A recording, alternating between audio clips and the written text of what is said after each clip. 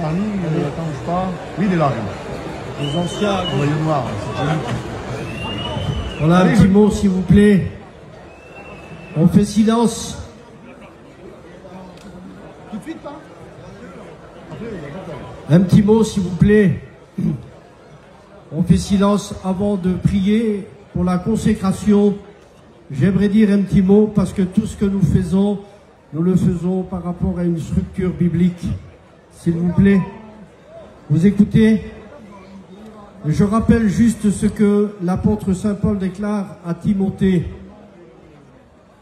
Il dit ceci, veille sur toi-même et sur ton enseignement avant que ses frères soient consacrés dans le ministère et qu'ils reçoivent l'approbation de la part des anciens, eh bien, ils ont été suivis. Ils ont été suivis justement pour voir s'ils correspondent aux critères bibliques. Et s'ils sont là, c'est parce que les anciens les ont pilotés dans cette direction. Et l'apôtre Saint Paul déclare à Timothée, veille sur toi-même et sur ton enseignement. Ils doivent veiller, non seulement parce que ce qu'ils ont appris à l'école biblique, maintenant il faut qu'ils veillent sur cet enseignement pour le propager ailleurs. D'accord? Mes frères, que Dieu vous bénisse et que ce que Paul déclare à Timothée dans le chapitre d'un Corinthiens 6, 3, il déclare que vos progrès aussi soient évidents, mais aussi qu'ils soient, eh bien, serviteur de Dieu doit être recommandable comme serviteur de Dieu. Eh bien, son témoignage doit passer en priorité. Voilà, on prie pour tous ces hommes.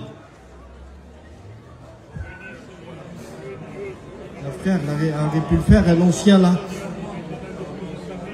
Oui, Seigneur Jésus. Tu bénis tous ces hommes au nom de Jésus. Tu bénis, Seigneur, au travers de cette consécration, le ministère que tu leur as donné, que ce ministère soit fructueux, Seigneur, au nom de Jésus. Au nom de Jésus. Amen. Amen. Vous descendez, on va vous donner votre carte. 啊吧？去了